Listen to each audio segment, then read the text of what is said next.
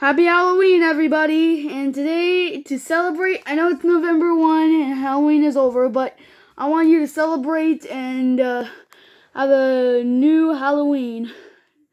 For everyone who wants to see this, uh, come. This is where I'm going to show the jack-o'-lantern and the pumpkin of mine. Ready? Yeah. Look at that.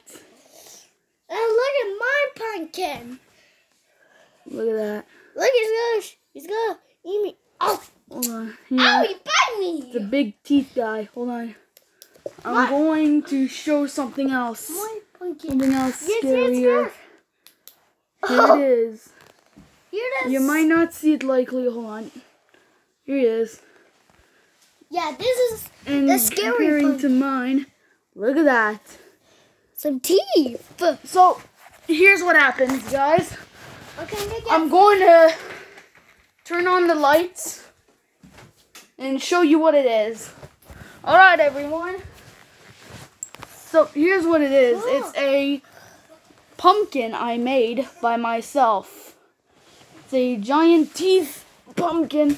I like to call it the pumpkin mimic or the Eye of Cthulhu or anything like that. This is my pumpkin.